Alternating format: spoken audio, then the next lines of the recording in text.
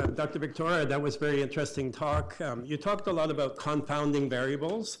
And uh, one question I have, uh, even in 1982, uh, to some extent, especially in an urban setting, breastfeeding is a luxury. You know, if, if, the woman has to work or something like that, or if you have childcare issues. And also with the Jamaican study, um, you know, you mentioned the, the impact on the mother as well as the child. Um, to, uh, was there any assessment of the mother's well-being, or do you think even 30 years later, could you ask the mother what difference having uh, you know an upper class person come to their home and uh, interact with them, uh, what difference that had over and above perhaps the supplement and the, the toys. Um, and, and going forward, maybe looking at these social factors might be an important thing to be up, up, over and above the epigenetic aspects. So maybe Dr. Victora could answer that. Um, we, our visit to our cohort, uh, I, I, think part of your question applies more to the other speakers. Right. Our visit to our cohort, uh, we visited them at the first cohort, 82 cohort. Uh, birth, uh, one year, two years, four years, and then uh, adolescent and adult. So we, we did not have very frequent visits uh, because we didn't have the money, basically. Uh, uh, and we did assess a little bit of maternal mental health, but very little. Uh, we did, we are doing that in the younger cohorts, but I still don't have any results to, to, to try to associate breastfeeding with maternal mental health. Uh, we did take a lot of of time worrying about confounding variables and, uh, and, making sure that we measured everything properly. Uh, I think, as I mentioned before, we were benefited by the fact that there was little social patterning or breastfeeding, and and uh, the, the, the, results I showed you on the allele score for in for schooling, they just became available a couple weeks ago when we completed our GWAS in, in the whole cohort. Uh, that is reassuring because we thought, okay, if, they, the, if, if these kids have more intelligent mothers and fathers, who, and therefore they're breastfed for longer because of that, then this allele score, which is genetic, would be uh, higher in those who breastfed for longer, and if anything, it was slightly lower. So I think we're pretty. Uh, I, I, just wanted to take a very quick uh, stab here and say it's really amazing how, how there's so much evidence on breastfeeding and intelligence, and it's still constantly being challenged. And uh, yeah, I'm sure there must be other forces that lead uh, to this intensity of challenge. And, and I'm, uh, it, it's very, uh, the, the, study we did, and I think we got CNN and, uh, and New York Times and BBC because it was relating breastfeeding to money and saying if you breastfeed, you can make more money. And that was really putting, you know, the finger on it. Okay, well, thank you. I'm, so, I'm not sure I answered your question. Well, I'm, I'm not ch challenging breastfeeding. I'm just saying that uh, yes. it's not just the milk, it's also the mother interaction. Oh, absolutely, yeah. absolutely. Uh, there's very limited, yeah, that's a good point. There's very limited, there's some evidence that if you're fed breast milk in a bottle, in a couple trials that were done several years ago, you still become more intelligent. But it's, uh, so there, there is something there too. There's definitely biological, uh, there are definitely biological mechanisms. I'm happy to discuss more about that, but I, I, for, for the sake of moving on the discussion, I'll let Susan. Okay, thanks. Um, in that original trial, we didn't look at mother's uh, mental health, but we, we, we, so in that trial, we looked at her caregiving practices, so we, we could see an improvement in the quality of the home environment, the quality of caregiving. In a later trial, we, have, we did look at mental health, and we found reduced depressive symptoms in the mothers who were visited.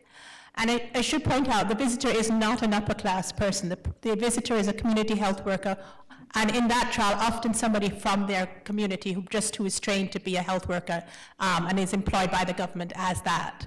So, and I think that's actually an important part of why there may be benefits because what they, we, while the visit doesn't do, doesn't have, it contain things specifically focused on mental health, it's the approach to the visit and having an empathic person come and listen to you and value the things you say um, may have been the, the, mechanism. And one of the things we want to do going forward is to try and strengthen those aspects of the intervention. It's a question on the left, please. Yes.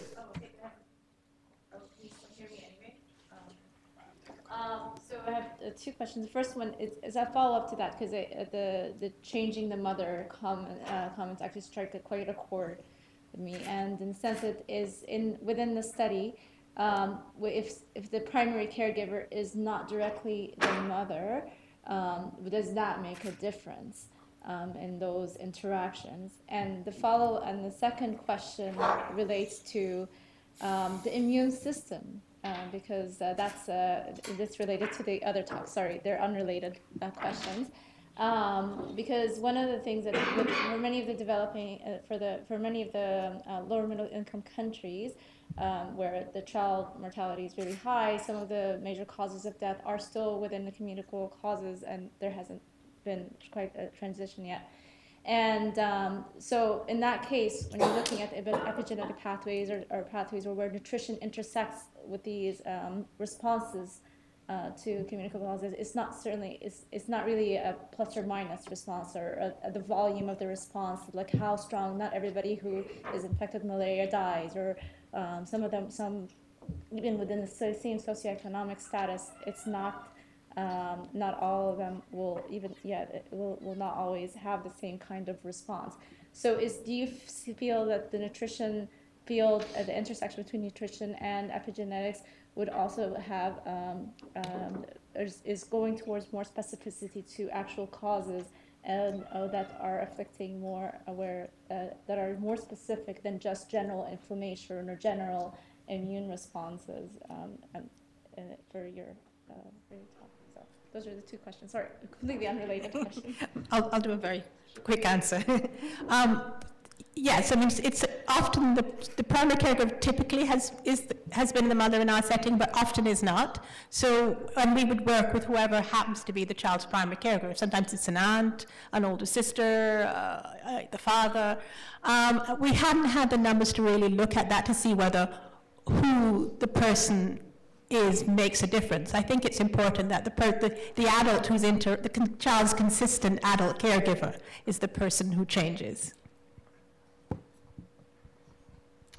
Yeah, so um, I think you bring up some really interesting points as it relates to the intersection of nutrition, epigenetics, and potential mediation um, in the immune system. Um, I didn't want to give the impression in my talk that epigenetics is a black or white thing. In fact, it's very much not. Um, it tends to be a very graded thing. Um, but to, I, I think, um, to more directly address your question, we actually just uh, happened to publish a paper uh, in PNAS a few months ago on the CEBU cohort uh, that Dr. Victora talked about as part of the cohorts uh, study. And uh, again, focusing on the immune system, what we, what we reported in that paper is that there are in fact um, a multitude of uh, different um, early life exposures, microbial, um, nutrition, um, that all um, shape on the one hand, the epigenome, and this was focused on immune um, genes, uh, DNA methylation, so dimmer switches, and on the other hand, um, are associated with things like CRP, um, so C-reactive protein, um, in, in, and the like in adults. Um, and so, so I think what we didn't find is that they're actually interacted. Um, so they seem to have been, at least on this study and this level of granularity, uh, seem to have different, I guess, epigenetic um, linkages with some of these exposures affecting particular epigenetic marks and other epigenetic marks in turn being affected with uh, outcomes. There's a question, two questions on the right. Perhaps we'll start with you and then behind you. Thanks. Uh, so just uh, appreciate uh, the panel uh, discussion that we had this morning. Um, I guess uh, it is to the group here. in terms of was there, I mean, outside of the 20th and 21st century uh, patterns uh, that have followed, uh, uh, going to decades previous, whether it's, you know, 15, 16, 17, 18,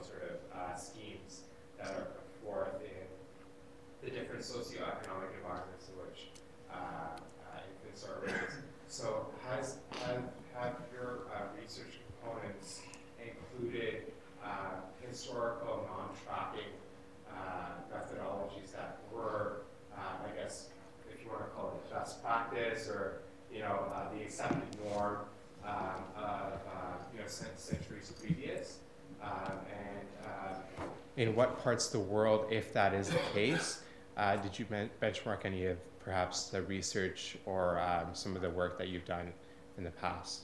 So I guess it's open to anyone that uh, may have uh, realized that.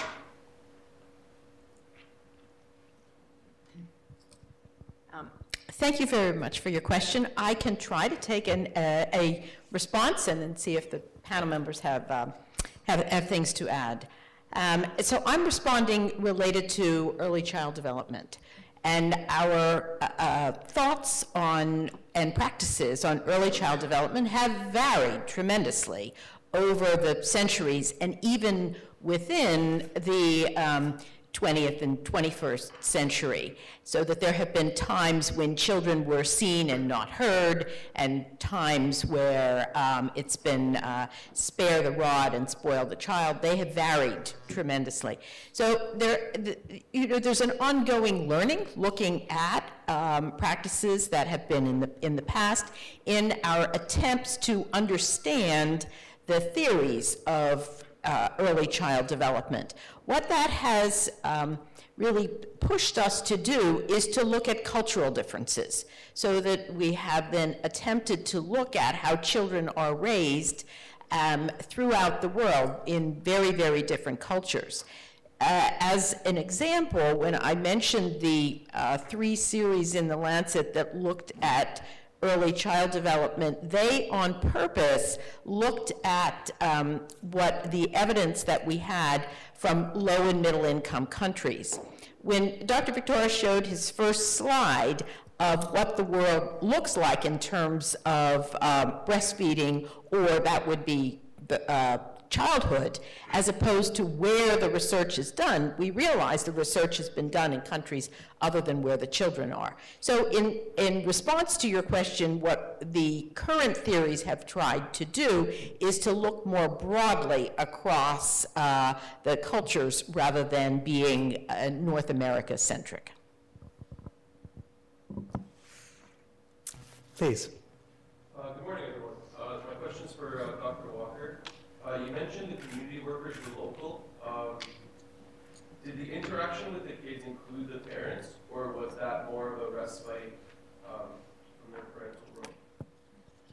Oh, no, the, the, the, whole, the point of the interaction is to include the parent. So if the parent is not there or, or not willing to take part, not able to take part because they're busy doing something, you, the, the, the session can't take place. It could not take place without the parent.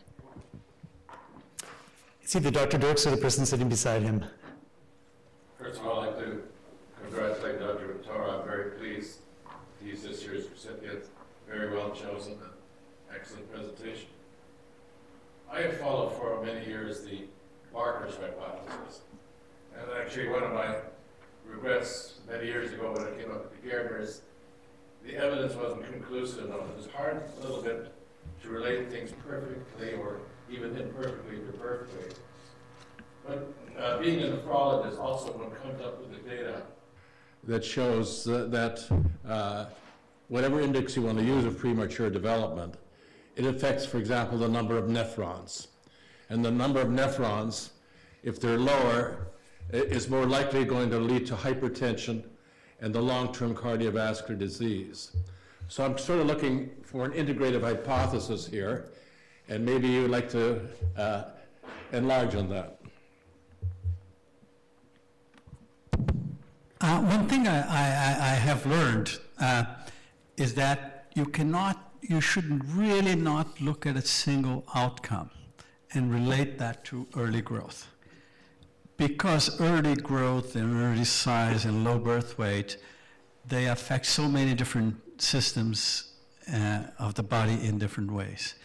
And if you look at a single outcome, you may get the wrong answer. That's why multi-purpose cohorts with multiple outcomes, including intelligence and including mental health, and not only the cardiovascular markers, is so important. And my best example is high blood pressure. Uh, tall people need higher blood pressure to reach their brains, right? Uh, other things being equal.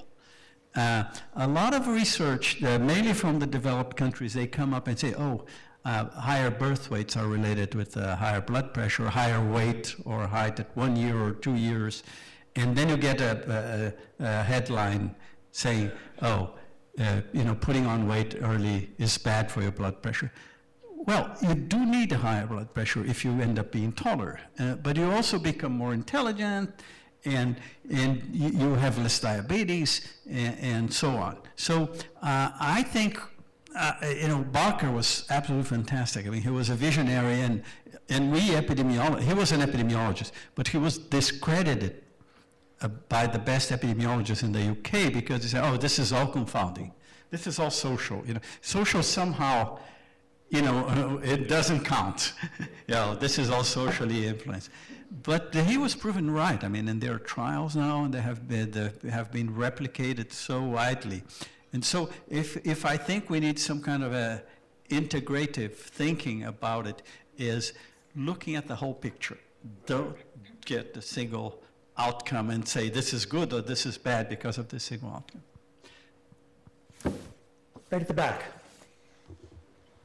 Thank you for the presentation. Um, I have a question for Dr. Kobor around um, mental health and epigenetics. And I was wondering if there has been any work looking at collective trauma and its role, um, specifically thinking in light of Canada and the Indigenous community and the Truth and Reconciliation work that's being done. So if there's any types of studies that have investigated collective trauma and epigenetic effects. Uh, excellent question, and certainly something that we are very interested in. To my knowledge, this particular topic has not been um, addressed. Um, you know, before Clyde passed away, we had many discussions about intergenerational trauma relating to residential schools uh, and the like. We actually have um, um, a memorandum of understanding with several First Nations in uh, British Columbia to um, work with them to, to address this. Uh, in fact, um, we have a grant in for um, it's it's the obvious question where you know if epigenetics really is at the nexus of these um, traumatic events and, and, outcomes, broadly speaking, this would be the place to look. So stay tuned. we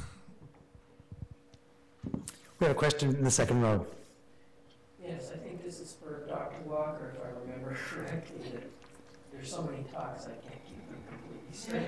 Um, you did a sequence of IQ tests, I believe, and each instrument was different. Um, I assume that's because if you repeat the instrument, there's sort of a learning and, and the validity is lower. Is, is that why you did it? That, that's a, a preliminary question. um, then there's a lot of controversy about IQ tests. And when I saw the, the differences you mentioned, I thought they were in IQ points and they looked minuscule, but maybe they were standard deviations. Were they significant? Okay. Uh, which difference in the on the figure? Yeah. Okay, that same figure with the different tests. Yeah. Okay. Okay. Um, the test changed primarily because the children got older. Mm-hmm. So the mm-hmm. first two were developmental quotients, so developmental tests, and then the this then we did this, we changed with the test from the seven to the 11 year follow up simply because we thought that the 11 year test was a better test and gave us more, it gave us verbal IQ and performance IQ as well, rather than one global global figure. And then the, the final changes were again, as the children got older, they moved from a chi- childhood test to an adult IQ test. So the test changed because of those reasons, not for any other reasons. Um, the the on the figure we showed standard deviations because because the tests were changing. We we changed the the um, we changed we we calculated standard scores for each of the tests. So I think actually that um, there's one final question. Thank you. Uh, this is a question about case definition for stunting in those studies, like uh, the, the. When you base your case definition on a certain period in time, like uh, two years, you decide that this child is stunted based on one measurement minus two Z-scores, for example, and then label this for the rest of uh, his life. Uh, how do you control for the effect of genetics? Because we know that the pattern of gaining weight and height might not be the same for all children. Uh, uh, and especially one of your outcomes when you said uh, children of stunted children were also stunted. Uh, uh, probably a more plausible interpretation could be that uh, the, the, pattern of uh, gaining height uh, is predetermined, is genetic rather than, I mean, from the father to the child, rather than, than the, from the child. I mean, the, it's genetically predisposed to short, maybe not short stature, but a pattern of height gain that is not uh, exactly as the other children. Um, so the, the question is that how you control for the effect of genetics in patterns of height gain when you base your case definition on uh, one measurement mm -hmm. at age two, for example. Yeah. Um, I don't think we can completely, completely exclude that for some of the children there may be genet genetics may be involved, but really the definition of stunting and um, below minus two standard deviations of height for age in a poor community, the vast majority of children who you identify will not be short because of genetics. It's, they will be short because of environmental things, some of the things that um, Kay spoke about in terms of nutrition and infections. So we're, to some extent, we're making, we're, we're interpreting the stunting to primarily reflect chronic undernutrition and exposure to infections because of the fact that they're from very poor circumstances. We cannot completely rule out that for some of the children, genetics may be involved. I don't know if anybody else wants to comment. Do we have time or? Yeah. I could speak on this for half an hour. I have a passion. Uh, yeah, in a, in a, the, the, thing is, Kay and I were part of the WHO multi-center growth curve study. She, she was PI in the Davis side, and I was PI in Pelotas. And up to the age of five years, if you take high socioeconomic status children uh, who are healthy, who are born at term, and who are uh, have uh, good environmental conditions, so on, the, the, the, there's remarkable similarity of growth uh, across different continents and different countries. Um, I just wanted to give an example. We did that in this study. We selected kids from uh, well-off families with optimal environments and nutrition. Uh, at two years of age, the, the kids from the Brazilian site uh, were about two centimeters, which is a small difference. Uh, taller than the kids from Norway. Can you believe that? If you look at me and if you look at a Norwegian person, you think that this must be wrong. It's not wrong. Up to in the first years of life, if you have a good environment, the, the genetic, right now we think that genetics accounts for 10 to 20% of adult height uh, overall. Uh, and the rest is really environmental, nutritional, and due to other infections and other exposures. So.